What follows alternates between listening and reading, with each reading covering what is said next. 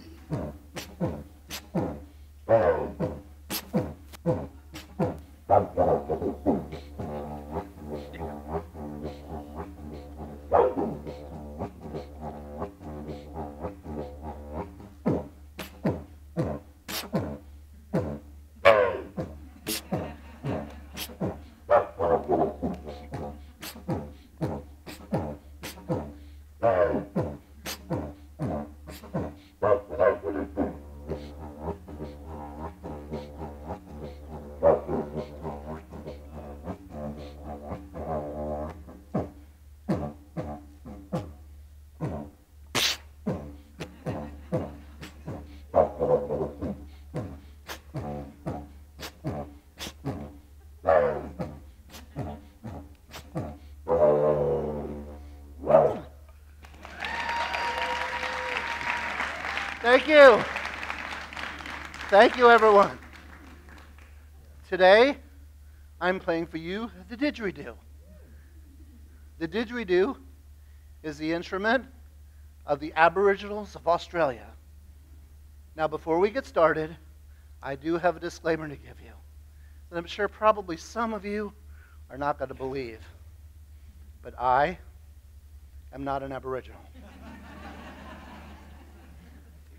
I do not play in the Aboriginal style, and I've never even been to Australia. I'd love to go one of these days, but at this point, I've never been. But what I am is a huge fan of this instrument. I've been playing it for many years now, and it literally has changed my life. Now, the didgeridoo is the oldest woodwind known to man. How old, you might ask? No one's really sure.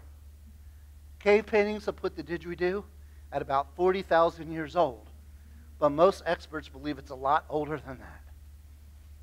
Now, modern day didgeridoos can be made out of all kinds of different materials. This particular one is made out of fiberglass, but I've also seen it made out of plastic, wood, bamboo, clay, leather, PVC, pretty much anything you can turn into a narrow hollow tube you can probably play it like a didgeridoo. A more traditional didgeridoo, however, like this one, is usually made out of eucalyptus wood that's been hollowed out by termites, also known as great ants. Now, what the uh, Aboriginals will do, they'll walk the forest of Australia, knocking on trees, hoping to hear something that sounds hollow. If they find something that sounds hollow, First of all, they know they're not going to kill the tree because that tree is already dead. Also, they know that the termites have been inside and have already done their magic. So, what they'll do is they'll chop the tree, they'll strip all the bark off of it, plug up any holes that there might be in it, clean out the inside, make sure that there's no residue still in there, maybe even paint the didgeridoo, and possibly put a wax mouthpiece on it. And that's basically how a didgeridoo is made. So now I'm going to play another rhythm for you, but this time I'm going to take you on a journey, a journey into another world. So I invite you to close your eyes and listen and imagine. Imagine the sounds that are being made and what might be making those sounds. Also, the environments those sounds might be in. And then when the rhythm starts, just let it take you wherever you want to go.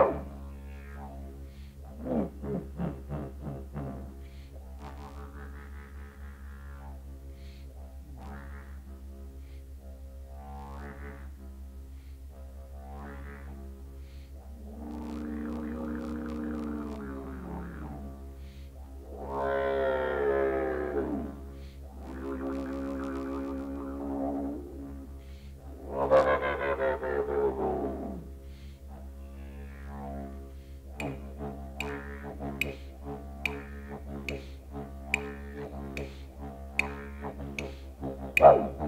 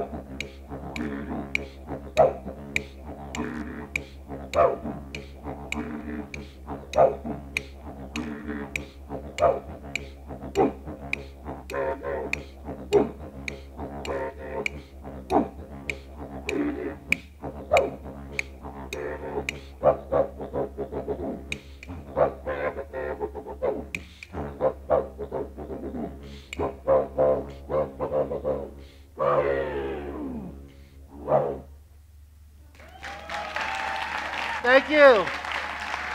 Thank you, everyone. Thank you.